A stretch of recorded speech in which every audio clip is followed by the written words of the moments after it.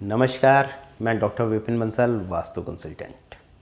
हमारी जो सीरीज़ चल रही है, प्लॉट चेन से लेकर प्लॉट शुद्धि तक और प्लॉट शुद्धि से लेकर गृह निर्माण तक गृह निर्माण से लेकर गृह प्रवेश तक। इस सीरीज़ में मैंने बहुत सारी वीडियो पहले बनाई है और आज मैं जिस विषय पर चर्चा कर रहा हूँ, वो है ईस्ट फेसिंग प्लॉट। आपका अपना प्लॉट ईस्ट फेसिंग है तो वास्तुशास्त्र के अनुसार आपको अपने घर का कौन सा हिस्सा ऊँचा करना चाहिए और कौन सा हिस्सा नीचा करना चाहिए? किस चीज़ में? फ्लोर लेवल में। फ्लोर लेवल कौन सा ऊँचा होना चाहिए और कौन सा नीचा होना चाहिए? आज मैं आपको इसके बारे में जानकारी देना चाहूँगा, क्योंकि आप अपना नया घर बनाने जा रहे हैं और इसी के साथ मैं आपको एक बात और बताना चाहूँगा। आपका अपना घर बन रहा है और आपको वास्तुशास्त्र के बारे में अब पता चला है और आप अपने घर को चेक कर रहे हैं और मेरी वीडियो को देख रहे हैं। तो मैं आपको कहना चाहूँगा कि आप मेरी जितनी और भी इस सीरीज़ की वीडियो है, उनको भी देखिएगा और अपने घर को भी टैली कीजिएगा।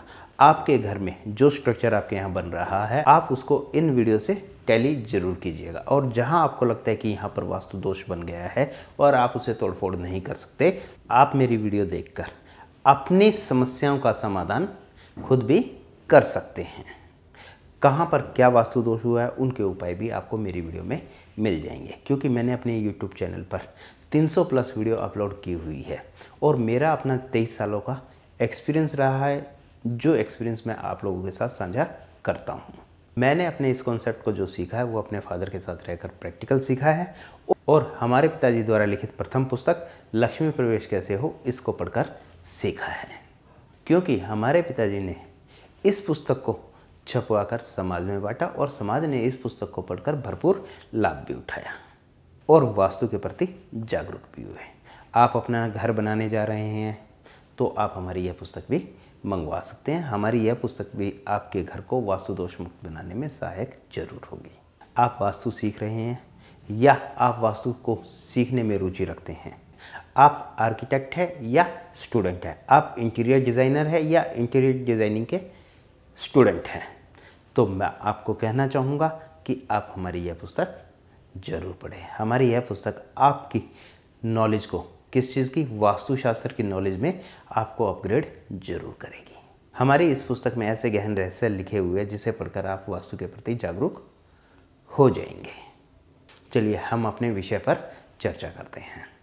आज का विषय है फ्लोर लेवल कौन सी दिशा में ऊँचा होना चाहिए और कौन सी दिशा में नीचा होना चाहिए। आपका प्लॉट पूर्वमुखी ईस्ट फेसिंग है तो आपको अपने प्लॉट के अंदर, जब आप अपनी बिल्डिंग बनाएँ तो उसके अंदर साउथ वेस्ट का हिस्सा, यानी नैत्य कोण, यानी दक्षिण पश्चिम का हिस्सा ऊँचा होना चाहिए, यानी साउथ वेस्ट जोन आपकी फ्लोर लेवल में ऊँची होनी चाहिए। किससे? बनी बिल्डिंग से भी और ओपन एरिया में भी। यानी आपने थ्री साइड ओपन रखा है या फोर साइड ओपन रखा है या आपने टू साइड ओपन रखा है तो उसमें जो आपका साउथ वेस्ट का हिस्सा है, वो हमेशा ही ऊँचा होना चाहिए। फ्लोर लेवल में, ओपन एरिया से भी और बनी बिल्डिंग से भी आपका साउथ वेस्ट का हिस्सा ऊँचा होना चाहिए। आप साउथ वेस्ट जोन को दो तरीक़ों से ऊँचा कर सकते हैं। एक तो मिट्टी डालकर, वहाँ पर ऊँचा चबूतरा बनाकर उसे ऊँचा कर सकते हैं। दूसरा, आप साउथ वेस्ट जोन में, यानी नैत्य कोने में, आप पहाड़ी बनाकर भी उस हिस्से को ऊँचा कर सकते हैं। आपकी अपनी बनी बिल्डिंग में साउथ वेस्ट का हिस्सा भी ऊँचा होना चाहिए। वो एक इंच, डेढ़ इंच, दो इंच आप ऊँचा करेंगे तो उसका आपको लाभ ज़रूर मिलेगा।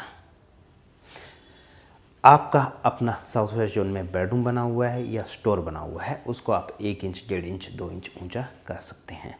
और साउथ वेस्ट जोन में आपका ड्रेसिंग एरिया बना हुआ है, टॉयलेट बना हुआ है तो मैं आपको कहना चाहूँगा कि उस एरिया को कम से कम तीन इंच ऊँचा ज़रूर करें। ऐसा करने से साउथ वेस्ट का हिस्सा, यानी साउथ वेस्ट जोन ऊँची हो जाती है, जिसकी वजह से साउथ वेस्ट जोन का जो वास्तु दोष आपको लगता है, वो आपको नहीं लगेगा। मैं आपको एक बात और बताना चाहूँगा, अधिकतर घरों में देखने में आता है, जिस घर का साउथ वेस्ट का हिस्सा ऊँचा होता है और नॉर्थ ईस्ट का, ईस्ट नॉर्थ ईस्ट का हिस्सा नीचा होता है तो वहाँ पर बच्चे शादी के लायक है तो उनकी शादी समय पर हो जाती है।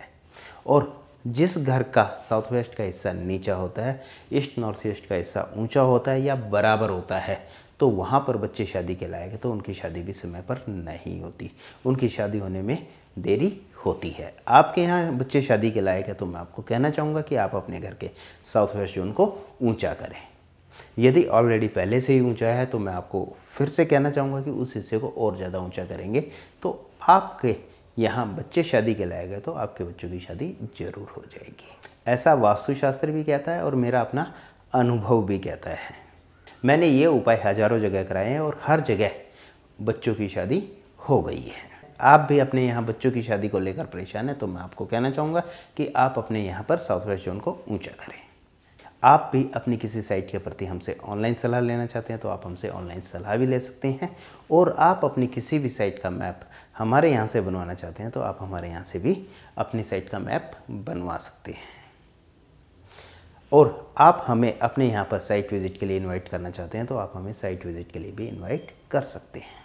मेरे द्वारा इस वीडियो में दी गई जानकारी यदि आपको अच्छी लगी तो आप मेरी वीडियो को लाइक भी करें और मेरी इस वीडियो को अपने फैमिली और फ्रेंड्स के फेसबुक ग्रुप पर और व्हाट्सएप ग्रुप पर ज़्यादा से ज़्यादा शेयर करें।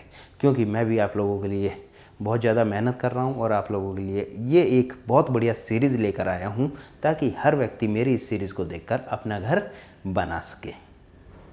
तो मैं भी चाहूँगा कि आप मेरी इस वीडियो को अपने फैमिली और फ्रेंड्स के फेसबुक ग्रुप पर और व्हाट्सएप ग्रुप पर ज़्यादा से ज़्यादा शेयर करें। आपने मेरे चैनल को अब तक सब्सक्राइब नहीं किया तो आप मेरे चैनल को सब्सक्राइब कर लीजिएगा और साथ में बेल आइकन ज़रूर दबाएँ। आप सभी अपना कीमती समय निकाल कर मेरी वीडियो देखते हैं, उसके लिए मैं आप सभी का तय दिल से धन्यवाद करता हूँ। इसी तरह अगले प्रोग्राम में फिर एक नए विषय पर चर्चा करेंगे, तब तक के लिए नमस्कार।